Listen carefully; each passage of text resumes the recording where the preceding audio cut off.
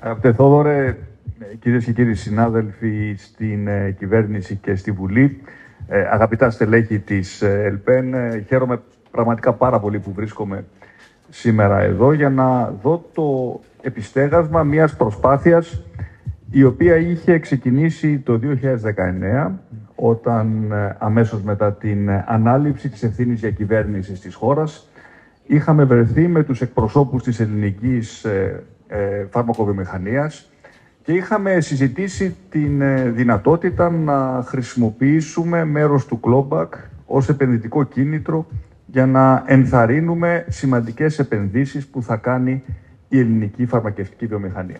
Είχαμε καταλήξει τότε σε μια πρώτη συμφωνία.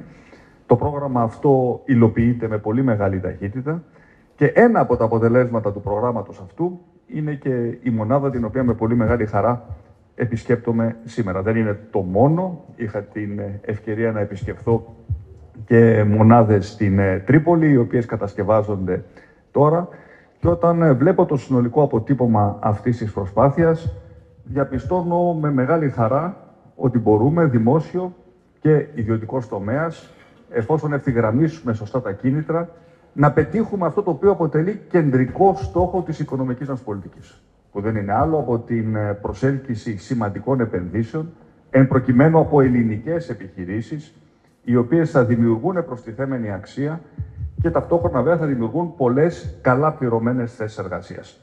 Ε, άρα, αγαπητέ Θόδωρε, στο πρόσωπό σου ως ε, εκπρόσωπος της ελληνικής φωνακιστικής βιομηχανίας, θέλω να σε συγχαρώ γιατί ανταποκριθήκατε σε αυτό το στίχημα, το οποίο φαίνεται ότι το κερδίζουμε, παρά τις μεγάλες δυσκολίες που μπορεί ακόμα να υπάρχουν.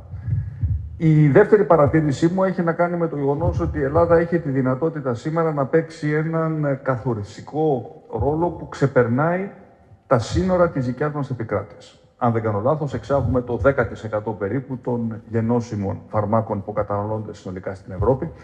Και αντιλαμβάνεστε ότι σε μια εποχή μετά την πανδημία, όπου τα ζητήματα της στρατηγικής αυτονομίας επανέρχονται δυναμικά στο προσκήνιο, η δυνατότητα να μπορούμε τουλάχιστον να καλύπτουμε την ευρωπαϊκή αγορά χωρίς να είμαστε εξαρτημένοι από άλλες χώρες αποκτά κομβική σημασία.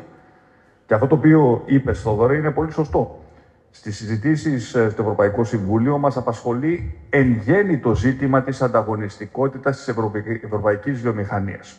Πώς θα αντιμετωπίσουμε δηλαδή από τη μία οι Ηνωμένες Πολιτείες που ακολουθούν μια βαθιά προστατευτική πολιτική, από την άλλη χώρες της Από Ανατολής οι οποίες δεν έχουν ζητήματα κρατικών ενισχύσεων, πρέπει και η Ευρώπη να χαράξει τη δικιά της στρατηγική αυτονομία ως προς την ανταγωνιστικότητα της ευρωπαϊκής βιομηχανίας. Και εκεί πιστεύω ότι η ελληνική φάρμακοβιομηχανία, η ελληνική φαρμακευτική βιομηχανία έχει έναν σημαντικό ρόλο να παίξει. Τρίτη παρατήρηση έχει να κάνει με το μέλλον.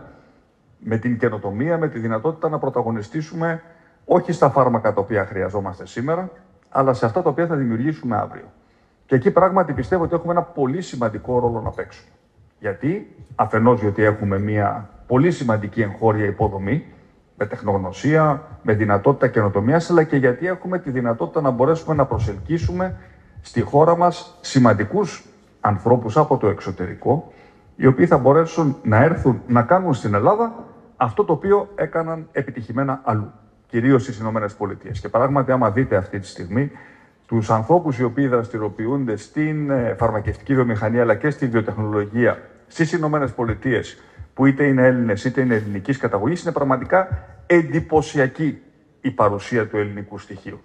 Συνομιλούμε με αυτούς τους ανθρώπους και θέλουμε να καταστήσουμε την Ελλάδα όχι απλά πόλο παραγωγής, αλλά και πόλο καινοτομίας σε αυτόν τον νέο κόσμο, ο οποίος ανοίγεται μπροστά μας και ο οποίος θα επιβραβεύσει αυτούς οι οποίοι θα μπορέσουν πιο γρήγορα να αντιληφθούν και να μπορέσουν να αξιοποιήσουν τις σημαντικές ευκαιρίες οι οποίες παρουσιάζονται. Και βέβαια μέρος αυτής της προσπάθειας έχει να κάνει και με το brain gain, τη δυνατότητά μας να προσελκύσουμε ανθρώπους από το εξωτερικό, όπως γνωρίζετε, το γνωρίζει και ο κύριος Ζανής, έχουμε πολύ σημαντικά φορολογικά κίνητρα, τα οποία δίνουμε σε ε, Έλληνες οι οποίοι γυρίζουν από το εξωτερικό και επιλέγουν να συνεχίσουν την καριέρα τους στην Ελλάδα. Και χαίρομαι πάρα πολύ που παίρνετε το ρίσκο να φτιάξετε αυτό το πάρκο βιοτεχνολογίας, εντασσόμενο και αυτό στις στρατηγικές επενδύσεις, για να μπορέσουμε να έχουμε και έναν έναν χώρο ο οποίος ε, θα παίξει πρωταγωνιστικό ρόλο στον τομέα αυτό. Και βέβαια όταν βλέπω και τα ε, δεδομένα να αλλάζουν τόσο γρήγορα ε, στον ε, τομέα της τεχνητής νοημοσύνης και βλέπω παραδείγματος χάρη τα εργαλεία, δεν είμαι ειδικός, δεν είμαι ούτε data analyst, ούτε βιοτεχνολόγος, αλλά όταν βλέπω ότι ξαφνικά ε, θα μπορούν να έχουν ερευνητές σε όλο τον κόσμο τη δυνατότητα να έχουν αναλυτικά εργαλεία τα οποία στο παρελθόν ενδεχομένως να είχαν πρόσβαση μόνο κορυφαίες εταιρείες, γιατί αυτή είναι η επανάσταση πραγματική του AI στο δικό σας το χώρο.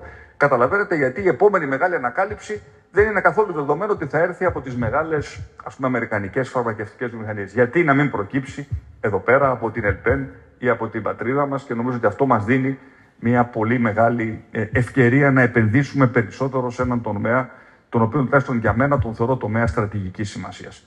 Τελευταία παρατήρηση, οι εργαζόμενοι. Βρισκόμαστε τώρα στην ευχάριστη ή δυσάρεστη θέση να έχουμε το ανάποδο πρόβλημα από αυτό το οποίο είχαμε πριν από κάποια χρόνια. Καθώς η ανεργία αποκλιμακώνεται με πολύ μεγάλη ταχύτητα, το μεγάλο πρόβλημα το οποίο θα κληθούμε να αντιμετωπίσουμε είναι να βρούμε το στελεχειακό δυναμικό το οποίο θα μπορέσει να υποστηρίξει αυτές τις πολύ σημαντικές επενδύσεις τις οποίες κάνετε. Και εκεί θέλουμε και τη δικιά σας τη συνεργασία, καλύτερη συνεργασία με τα πανεπιστήμια, να δούμε ποια είναι τα τμήματα εκείνα τα οποία πρέπει να επενδύσουμε στο μέλλον, ποιες είναι οι πραγματικές ανάγκες ενός κλάδου, σαν την ε, φαρμακευτική βιομηχανία, τι μπορούμε να κάνουμε στον τομέα της επανεκπαίδευσης και της κατάρτισης προσωπικού; Θέλουμε να δουλέψουμε μαζί και θέλουμε πάντα ε, τα προγράμματα κατάρτισης, επανεκπαίδευσης, ε, τα προγράμματα που έχουν να κάνουν με την πρακτική άσκηση να, ε, να έχουν ως οδηγό την ίδια τη βιομηχανία, τον ιδιωτικό τομέα. Εσείς γνωρίζετε πολύ καλύτερα ποιες είναι οι ανάγκες προσωπικού τις οποίες πρέπει να καλύψετε. Δεν είμαστε εμείς αυτοί οι οποίοι θα σας υποδείξουμε τα στελέχη τα οποία θα πρέπει να προσλάβετε. Εσείς θα πρέπει να ζητήσετε από εμάς πόρους και προγράμματα τα οποία να καλύπτουν τις δικές σας τις ανάγκες. Σταματώ εδώ γιατί θα μπορούσα να μιλάω πολύ για ένα αντικείμενο το οποίο όπως αντιλαμβάνεστε το βρίσκω ιδιαίτερα συναρπαστικό λέγοντας σας και πάλι θερμά συγχαρητήρια ε, για αυτό το οποίο ε, κάνετε ε, ζητώντας σας ε, να συνεχίσετε σε αυτό το δρόμο να γνωρίζετε ότι πάντα η κυβέρνηση θα είναι αρρωγό σε αυτήν την ε, προσπάθεια. Είμαστε εδώ για να λύνουμε προβλήματα. Δεν έχουμε πει ότι έχουμε λύσει όλα τα προβλήματα. Έχουμε πολλά προβλήματα ακόμα ε, μπροστά μας. Είμαστε εδώ για να πούμε ότι κάναμε ένα πρώτο σημαντικό βήμα στη σωστή κατεύθυνση. Σας ευχαριστώ πολύ και πάντα επιτυχίες.